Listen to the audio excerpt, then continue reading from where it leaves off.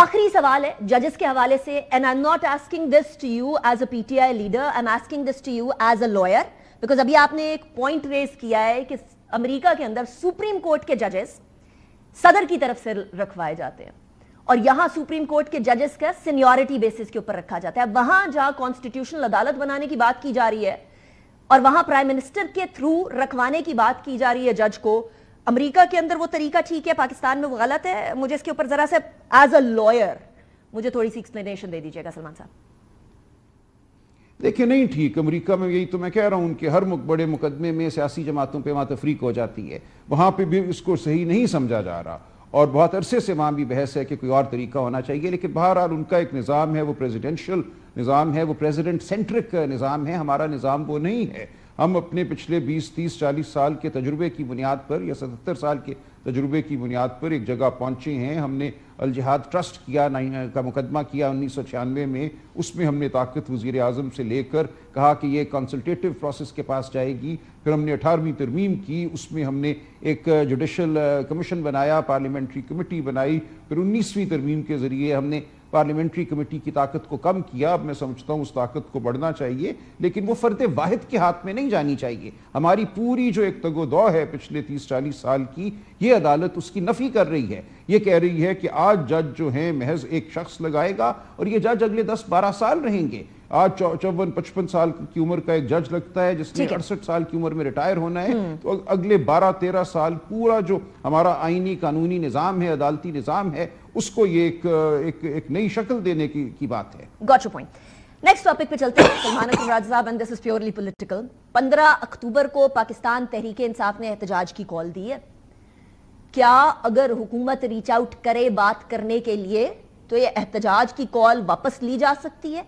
एक ऐसे दिन पर इसी के साथ एक सवाल एक ऐसे दिन पर जहाँ एस सी ओ समिट का आगाज़ है कॉन्फ्रेंस का आगाज़ है उस दिन एहतजाज की कॉल देना क्या दुरुस्त है? आपके इस टाइम पर बज़ाहिर जो एल नज़र आ रहे हैं मौलाना फजल रहमान साहब पार्लियामेंट्री मैटर्स के अंदर, वो भी इस चीज़ को दुरुस्त नहीं समझ रहे।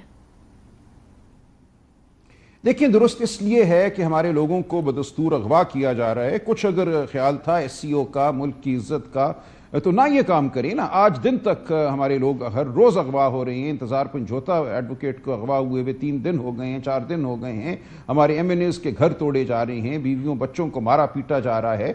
आपको नज़र नहीं आ रहा कि सतह के नीचे क्या हो रहा है? ऊपर हमने मेकअप करके एक खूबसूरत इस्लामाबाद बनाया हुआ है उसके नीचे एक बदसूरती का एक रेला जो है वो बह रहा है, बदबू का रेला बह रहा है, उसको तो आप ठीक कीजिए। हम कह रहे हैं, इमरान खान से सिर्फ़ उनके डॉक्टर को मिलने दो। तीन अक्टूबर आखिरी उनसे मुलाकात हुई। हर जेल मैनुअल के उसूल के बरखिलाफ आपने मना कर दिया कि किसी की मुलाकात नहीं होगी, ना डॉक्टर की, ना फैमिली की, ना वकील की। 19 अक्टूबर तक सोलह दिन का अरसा एक मुल्क का अहम तरीन सियासी लीडर जो है, उसको आपने काल कोठरी में डाला हुआ है। उनको शिकायत भी हैं, सेहत के हवाले से। हम जानते हैं, उनको सख्त तकलीफ़ थी कान में और इस सब के होते हुए आपने मुकम्मल तौर पर बंद कर दिया। हमने सिर्फ़ ये इस्तः की कल कि उनके डॉक्टर को उनसे मिलने दो। शौकत खानम के जो एम एस हैं कतन वो सियासी शख्सियत नहीं है वो जाकर उनका मायना करेंगे हमें शायद तसली हो जाए उससे कि उनकी सेहत तो कम अज कम ठीक है अगर डॉक्टर की मुलाकात करा दी जाती है सलमान राजा साहब तो डॉक्टर की मुलाकात के बाद ये पंद्रह अक्टूबर का जो एहतजाज है ये मौखर हो जाएगा।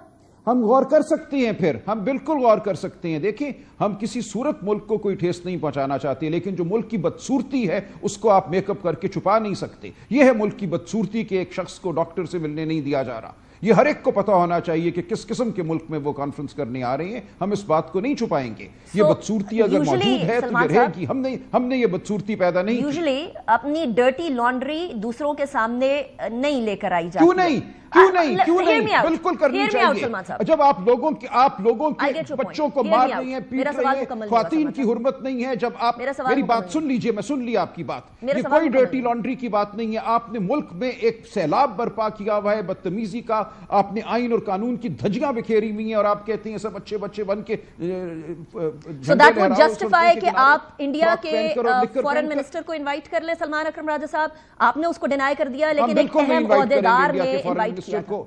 और आप डर्टी लॉन्ड्री जो है वो बात थी हमने उस बात की हमने उस बात की तरदीद की है किसी फॉरेन मिनिस्टर को अब इंडिया के या किसी और मुल्क के हम नहीं बुला रहे। वो एक गलत जुमला था जो उन, उन, उनसे अदा हुआ ये कोई पार्टी की पॉलिसी नहीं है। लेकिन हम ये बिल्कुल आवाज़ उठाएँगे अगर हमारे लोगों को अगवा किया जाता रहेगा तो इसके ऊपर कोई हॉलीडे नहीं होगा कि हम चुप करके बैठ जाए और 19 दिन पॉसिबिलिटी है कोई करने की हो। लेकिन कोई कंफर्मेशन इस टाइम पर नहीं है।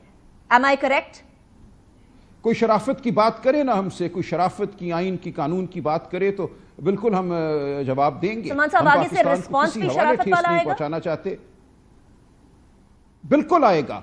लेकिन अगर हमारे साथ इसी तरह बरबरीत और सफाकियत का सलूक हुआ तो फिर आप क्या तो करती हैं? ये कहना कि कोई अंग्रेज़ी का जुमला है let's not hang out dirty laundry ये बात इंसानियत की है इंसानों की ज़िंदगी की है। लोगों की जिंदगियाँ इस वक्त खतरे में हैं। खुदा के लिए आप समझें हम किस दौर को गुजर रहे हैं। हमें पता नहीं इंतज़ार पंजोता ज़िंदा है कि नहीं ज़िंदा। हम खामोश बैठे रहेंगे उन्नीस दिन। उसकी ज़िंदगी को दाव पर लगाएँगे हम। हम बिल्कुल बोलेंगे इमरान खान की बहनें कहा है? उनके साथ क्या हो रहा है? हम बात करेंगे। कोई एस कॉन्फ्रेंस हमारे रास्ते में नहीं आएगी। हमारे शराफत का सलूक किया जाए। अच्छा फिर फिर गवर्नमेंट अगर आगे से हैवी हैंडेडनेस करती है हमारे साथ। तो फिर क्या रिस्पॉन्स होगा? अगर हैवी एक तो हमने शराफत वाली बात कर ली अगर शराफत होती है तो उसके बाद डिले हो जाएगा।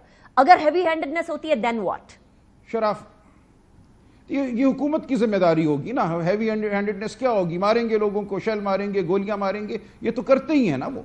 चलिए अच्छा लास्ट क्वेश्चन आतिफ खान साहब ने कहा है कि लैक ऑफ़ लीडरशिप था। अली अमीन गंडापुर साहब ने लैक ऑफ़ लीडरशिप शो की। पार्टी के अंदर इस टाइम पर as of now I am witness to many of your leaders telling this के डिवाइड है। एक तो 15 अक्टूबर के इस एहतजाज पे भी डिवाइड है ओवरऑल स्ट्रैटेजी पे भी डिवाइड है। ये डिवाइड कहीं इस नहज तक तो नहीं पहुँच रहा कि पाकिस्तान तहरीक इंसाफ के अंदर अभी एक लीडर सामने उठ के बोले हैं मल्टीपल लीडर सामने आ जाएँगे। सलमान अकरम राज साहब how are you going to unite PTI नहीं मेरा नहीं खैर नहीं ऐसा कुछ नहीं होगा। अंदरूनी गुफ्तगु हो सकती है किसी के पास मालूम ज़्यादा होती हैं किसी के पास मालूम कम होती हैं जो आतिफ साहब ने कहा मैं उससे इतफाक नहीं करता। लेकिन बहरहाल गुफ्तु होती रहती है लेकिन इसमें कोई ऐसी डिवाइड नहीं है कि वो स्ट्रेटिजिक लेवल पे या टैक्टिकल लेवल पे डिवाइड हो। ऐसा नहीं होगा। So PTI stand united as of now वो जो सारी गुफ्तु हो रही है कि दो टोले हैं दो धड़े हैं दोनों के मकासद डिफरेंट है। वो फजूल गुफ्तगु है। ठीक है। ठीक है। फजूल गुफ्तु है। बाज लोगों की ख्वाहिश है कोशिश है। यूट्यूब पे भी कोशिश है कि ये एक तासुर पैदा किया जाए लेकिन ऐसा कुछ नहीं है। गॉट